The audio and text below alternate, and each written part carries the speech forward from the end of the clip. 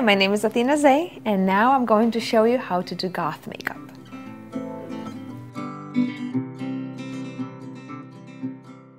For goth look, we will be using Shocking Pink, mega Magenta, Pearl Frost, White Swan, Raven Black, and Wild Violet.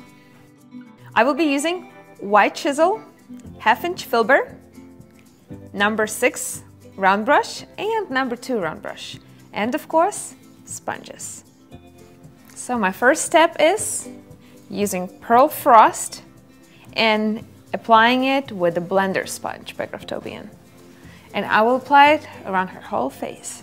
I will be using white and I will be applying it with a sponge and I'll apply it right on top of Karina's eyebrow, just half of it. For the next step, I will be using Shocking Pink and applying it with a sponge around her eye. For the next step, I'll be using my number 6 brush and applying violet color on her eye crease. For the next step, I'll be using number 6 round brush loaded with white. I'll be painting it right under her eyes. Next step, be using Wild Violet and I will paint it right under her eyes. Now I will use wide chisel brush and I will blend in the purple. Now I will be using number two round brush loaded with black. And I will be painting underneath of her eyes, imitating eyelashes. And now I will give her a beautiful eyeliner. Now I will use number two round brush loaded with black to paint her eyebrows.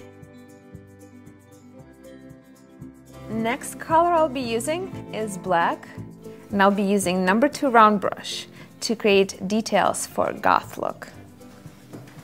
Next brush I'll be using is white chisel and I'm loading it with purple.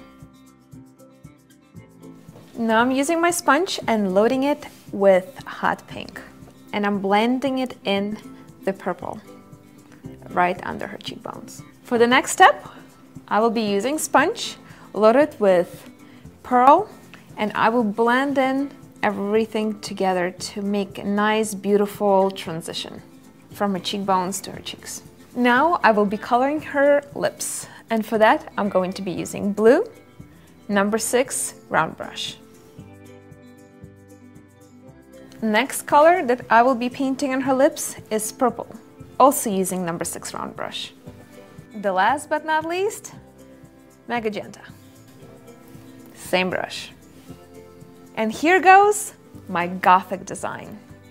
Check out my work on www.athenafxstudios.com.